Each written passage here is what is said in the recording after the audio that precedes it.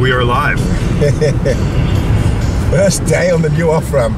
Yeah, very exciting. Here's a red letter date in the history of North Vancouver. What's the date? November 7th, 2019. Ooh, that's There sexy new exit. Exit 21, the new exit. Here we go. Ah. Woo! Exciting time. Yeah, the brand new Mountain Highway exit. Yeah. People will be talking about this years from now. Where were you on November 7th, 2019? Although I think it might have opened on like November 5th. Ooh, man, this looks different down here now. It looks very different, doesn't it? It's like they clear cut this place like an atomic bomb went off here, and then they decided to build a freeway.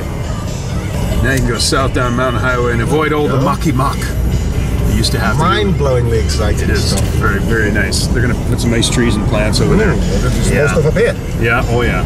So that there. Uh, there's poor people living up there, but oh well. They'll put a. They got a fence. I'm- I'm guessing they got a gonna be- wall. They got a nice wall. This is going to be a major, a major change as far as traffic goes in the morning. Yeah, it's gonna help exit out a little bit. Big improvement.